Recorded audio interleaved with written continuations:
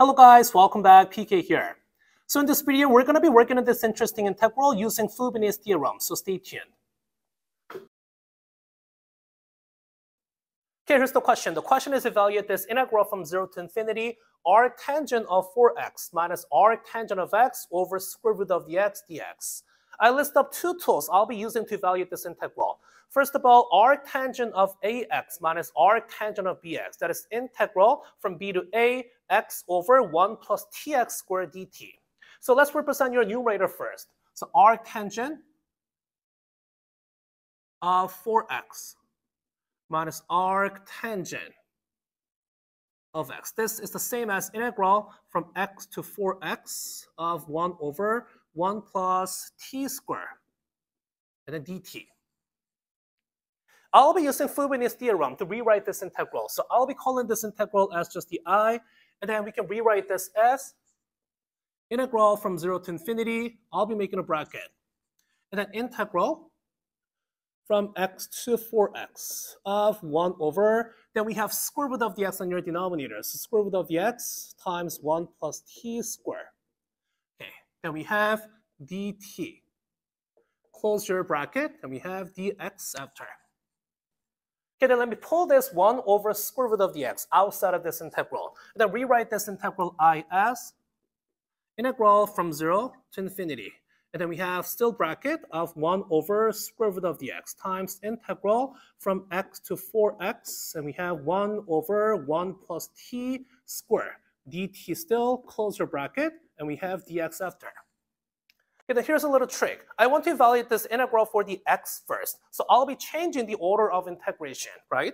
So this has to be just done the same as then integral from 0 to infinity of now integral. I'll be push this 1 over square root of the x to inside of your integrand. But then again, the lower bound and the upper bound should be changing because we're changing the order of integration. So for the lower bound, we can take a look at the upper bound first. Okay, the upper bound was 4x. You said your 4x is equal to t. That being said, your x is t over 4. So your lower bound has to be t over 4. And the upper bound, you look at the lower bound as integral, that is just the x. So set your x is equal to t. So that says your upper bound has to be just a t. Then after this, we have 1 over square root of the x times 1 plus t squared, and then we have dx dt. So that we are working on this integral.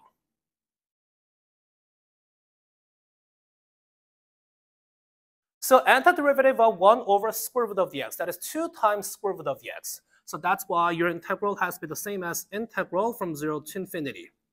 Okay, then that of now 2 times square root of the x from t over 4 to t.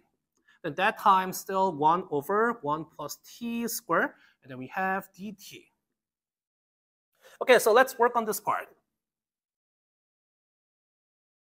Okay, so plug it in. So it has to be the same as so 2 times square root of the x from t over 4 to t. Let's make a calculation for this. This is 2 times square root of the t minus 2 times square root of t over 4. This is going to be the same as 2 times square root of the t minus just the square root of the t. So this is square root of the t.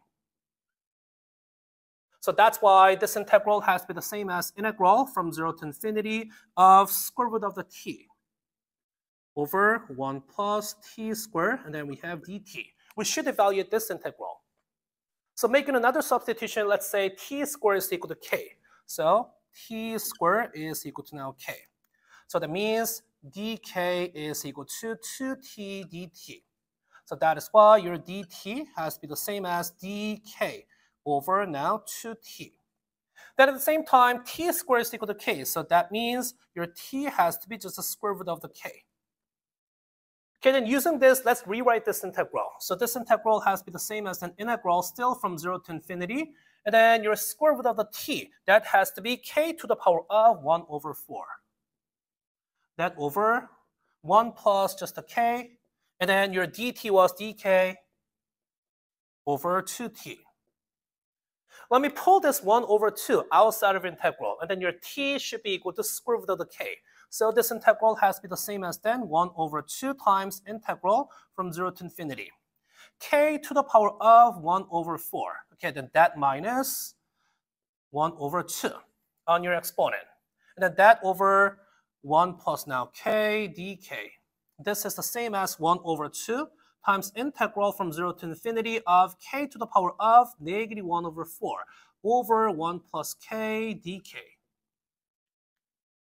So evaluating this integral, I'll be using this tool. Integral from 0 to infinity, z to the power of p minus 1 over 1 plus z dz. That is pi over sine of p times pi, right? So for this integral, we can rewrite this negative 1 over 4. Negative 1 over 4 as now 3 over 4 minus 1. So that we can use 3 over 4 as the value of the p for this integral. So this integral has to be the same as then 1 over 2 times integral from 0 to infinity of k to the power of 3 over 4 minus 1. That over 1 plus now k dk. Okay, now we can evaluate this integral using this formula. So plug it in 3 over 4 to the p. So this has to be the same as 1 over 2 times pi over sine of 3 over 4 times pi. And the value of sine of 3 over 4 pi, this is square root 2 over 2. So let's make a calculation for this. It has to be the same as then 1 over 2 times pi over square root 2 over 2.